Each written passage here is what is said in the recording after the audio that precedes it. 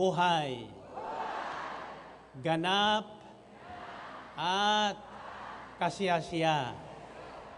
Yan. Sabi sa Ebanghelyo ayon kay Juan, talatang 10, kabanatang 10, talatang 10, tandaan nyo ito, ang magnanakaw ay naparito upang magnakaw, magwasak, pumatay, manira. Ang sabi ng Panginoon, ako'y naparito upang magbigay. Lakasan nyo. Anong oring buhay? Ganap at kasiyasya. Pag, sinang, pag sinabing ganap, walang kulang walang kulang. Hindi nagkukulang sa tulog, hindi nagkukulang sa kaibigan, ah, hindi nagkukulang sa lahat ng kailangan. Kahit wala kang trabaho, kakain ka kinakabukasan. Amen ba? Purihin natin ang Panginoon. Purihin ng Diyos. Okay. So, tatlong bagay ang nais kong paalala. Hindi ko pinipilit ang sino man pinili ko sa inyo. Mamalaya kayong pumilit sa inyong kandidato.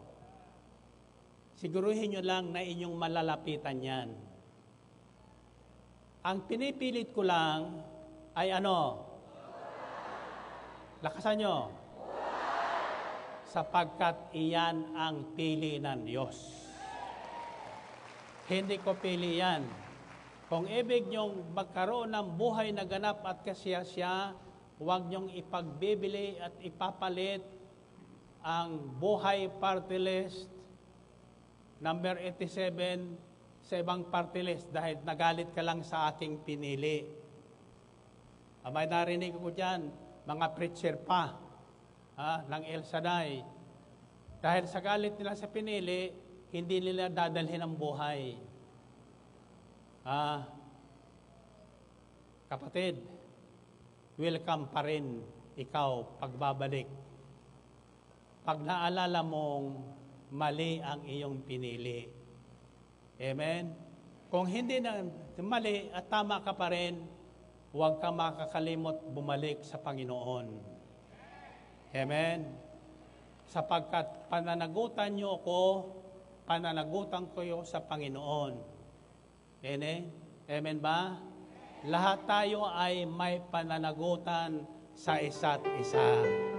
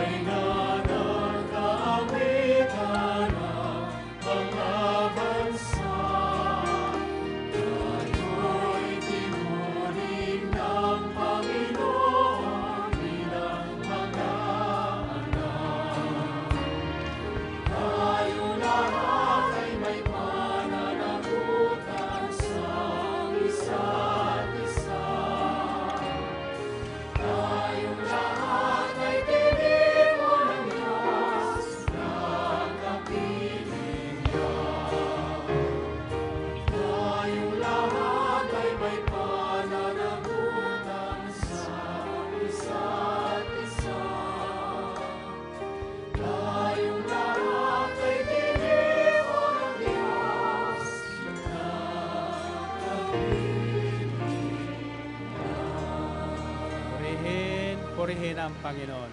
Okay, taas ang kamay nyo. Sabi nyo ang salitang mag-aral. Sino sa inyo nag-aral na? At least grade 1 man lang, di ba? Yung hindi nakapasok ng grade 1, nag-aral sa magulang yan. The first teacher is the mother. Tatandaan niyo mga ina, kung anong yung anak, yun ang refleksyon ninyo. So, ang paanyaya ng Panginoon, mag-aral kayo sa akin. Anong ginagawa ng isa nag-aaral? Ha? Nakikinig o nakikipag-chismis sa seatmate? Kaya ako laging 100% ang aking score na ako'y nag-aaral sapagkat nakatutok ang aking paningin at ang pandinig doon sa aking teacher. Hindi doon sa aking katabi. Ha? Wala pang mga cellphone noon. Kaya mapapalad yung mga hindi nabot ng cellphone. Ngayon, pati spelling, iba na. Ha? Iba na. So, ang mabuting guro ay nagtuturo ng tama sa kanilang mga estudyante.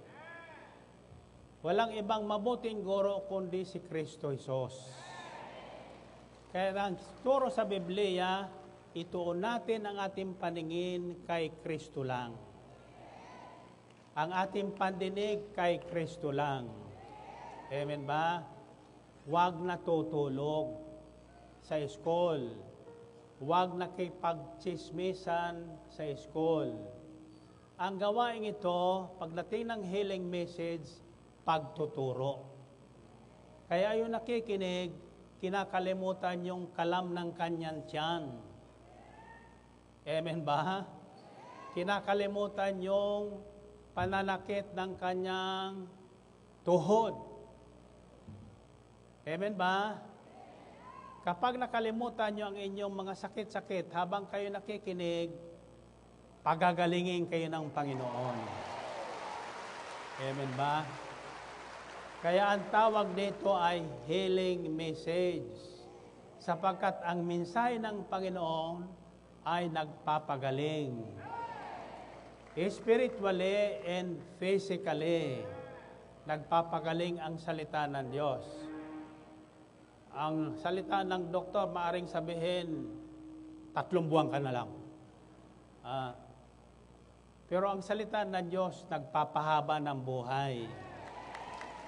Amen ba?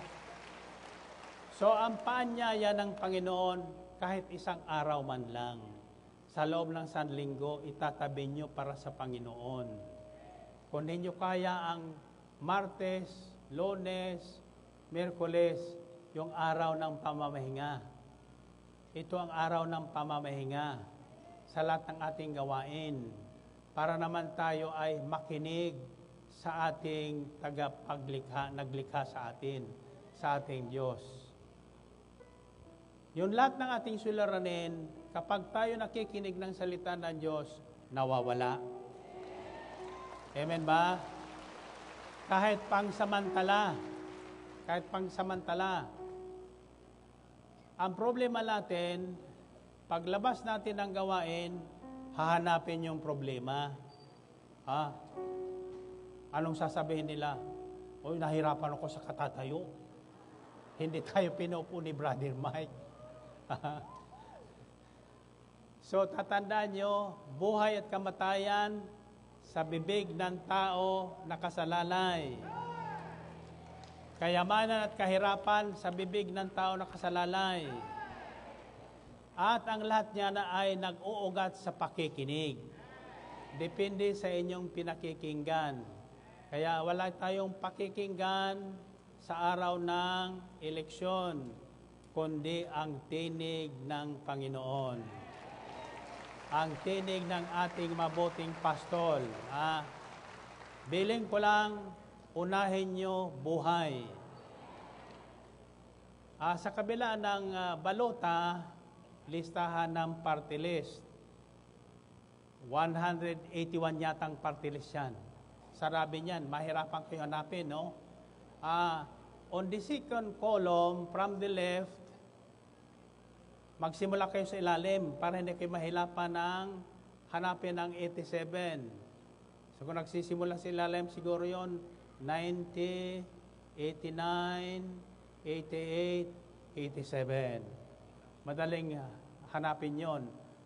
Pagkatapos noon, kung kayo nagugulhan kung sinong iboboto yung mayor, senator, umuwi na kayo. Basta na iboto nyo na, naguhitan, nyo na yung buhay. Amen ba? Tiyag pagpapalain kayo ng Panginoon.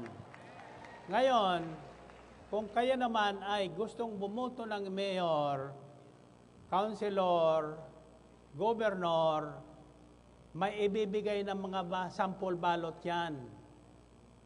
Tingnan nyo sa likod ng party list. Ha? Kung anong party list ang dala nila.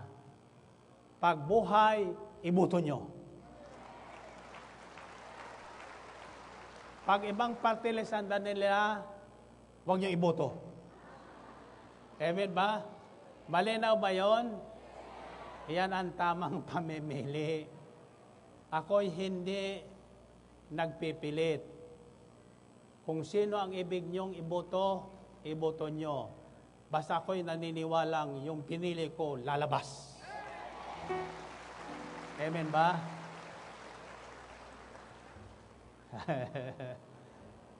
sino gustong pagpalain? Sino gustong humaba ang buhay? Sino gustong yumaman? Anong pipiliin nyo? Very good. Purihin natin ang Panginoon. Purihin ang Diyos. Okay, taas ang kamay. Diyan kayo sa screen, tumingin para hindi kayo iikot. Tatlong ulit ako magbabato dito sa camera. I-close up mo pa kasi maraming nanonood sa TubeU. At saka nanonood sa telebisyon. Ah, pagtapong ko sa inyo, anong isisigaw nyo? Tatandaan nyo yan, ha? Hindi lang kayo ang pupunta sa presento. Ta- eh, tuturuan nyo sila, isa lang ang ibubuto sa party list. Ah, yung mga senior na buhay ang piliin nyo. Sapagkat ang buhay ng ibig ng Panginoon mula sa sinapupunan hanggang sa libingan. Iyan ang buhay na tinatapatan ng Panginoon sa atin. Pangako yan. Promise yan ng Panginoon. Hindi promise ni Brother Mike yan. Iyan lang talaga ini-endorse ko, buhay. Number 87. Yung mga ibang kandidato, bahala na kayo. Kung sino ang gwapo sa paningin nyo. Ah, Natandaan nyo, yung madaling lapitan. Tulad ng Panginoon, madaling lapitan kahit hindi panahon ng eleksyon. Amen ba? Kung yung pili ko ang boboto nyo, makalalapit kayo sa akin. Ako naman ang lalapit sa kanila. Kilala ko yung madaling lapitan. Amen ba?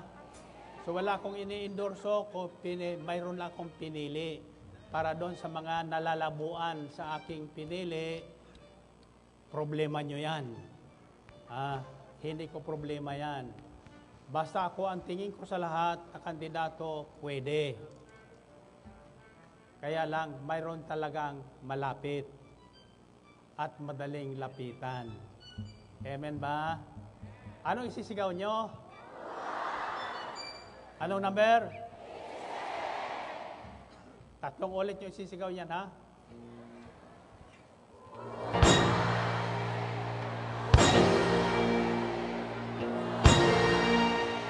God bless you on Monday. Thank you.